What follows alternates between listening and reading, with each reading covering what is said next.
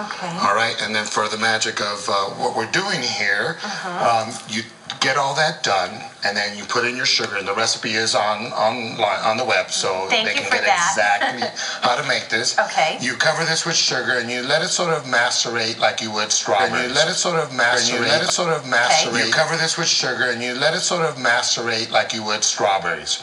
Okay. 24 hours, the zest breaks down, it gets all melty and flavorful. Really? Yep. Then once that's done, you take that and you add some eggs to it. Okay. Uh, four eggs to the recipe that we're making online. So